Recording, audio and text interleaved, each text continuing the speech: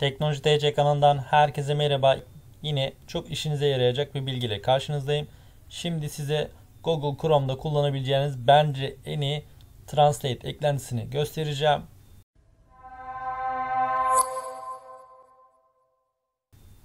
Öncelikle Chrome'u açıyorum ve buraya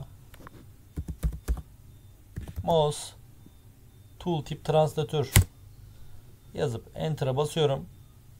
En üstteki sekmeye tıklıyorum. Bu arada ben bu linki açıklama kısmına bırakacağım. Direkt oradan girebilirsiniz.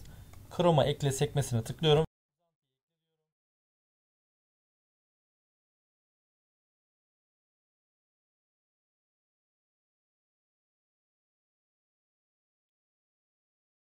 Ve şu an uzantıyı ekledim.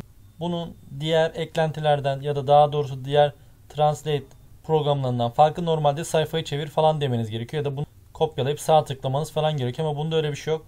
Örnek veriyorum şurayı çevirmesini istiyorum. Hemen işaretledim. Gördüğünüz gibi direkt olarak İngilizceden Türkçe'ye çevirdi. Hemen şuraya geliyorum.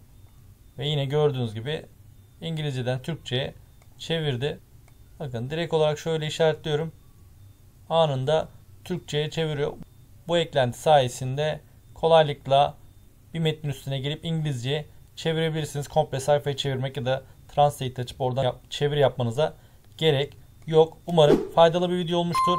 Bu videomuz hakkında ve diğer bütün videolarımız hakkında merak ettiğiniz her şeyi yorum kısmına yazarsanız bildirimler açık olduğu için ben ya da diğer arkadaşlarım hızlıca cevap veriyor olacak.